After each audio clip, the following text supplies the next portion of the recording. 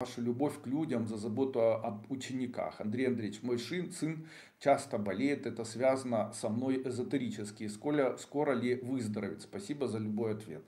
Обычно наши дети болеют в тот момент, когда мы что-то плохое говорим о ком-то. Именно поэтому очень часто моя рекомендация для мам и пап закройте рот и никого не обсуждайте, не обсасывайте, может быть очень полезным для человека. Также очень часто человек делает в своей жизни что-то на шару или без желания оплатить. То есть человек делает так, хамылем, как говорят вот в народе, то есть э, вот э, человек никогда не задумывается о том, что за все придется платить.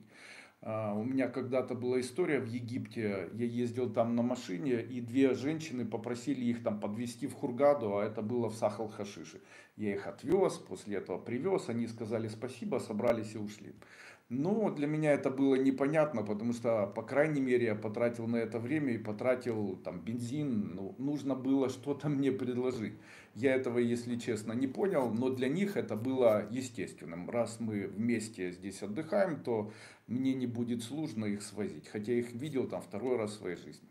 Ну что ж, вот такие моменты очень часто могут быть э, конкретно э, тем, что называется на шару, бесплатно, хамылем. Таких примеров их существует бесконечное множество. Для многих людей это является прям задачей жизни и так далее. Многие люди стремятся к тому, чтобы выпросить, к тому, чтобы не заплатить, к тому, чтобы избежать и так далее. Не понимая, что они становятся должниками. Некая чаша долга, она накапливается в жизни человека. Вот смотрите, как в буддизме говорят, в жизни человека есть две чаши. На одной чаше его поступки хорошие, а на другой его долги, которые становятся кармическими долгами. Его хорошие поступки, они могут привести к хорошей судьбе, хорошему перерождению. Его долги, которые он должен, вот из-за того, что он сделал бесплатно, из-за того, что кто-то там для него сделал бесплатно, из-за того, что он должен, но забыл и уже не должен, как там говорят, долги отдают только трусы. Это все наполняет чашу долгов. И у такого человека, допустим, у женщины есть ребенок.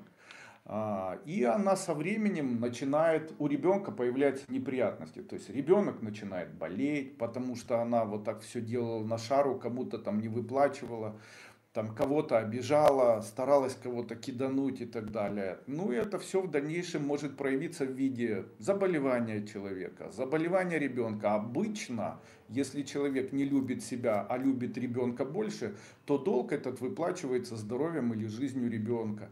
Если любит больше там свою машину, квартиру еще что-то, то выплачивание происходит за счет потери имущества и так далее. Обо всем этом можно узнать подробно, проходя мои обновленные ступени школы. В общем-то, я это вам советую сделать.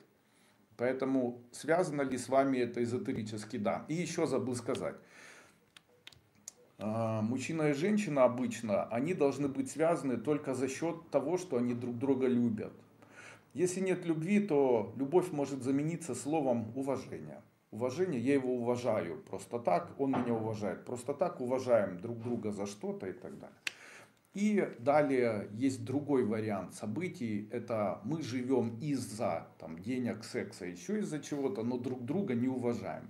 То есть мы готовы там найти что-то в стороне и там живем, и дальше находится то, ради чего они, собственно, живут друг с другом.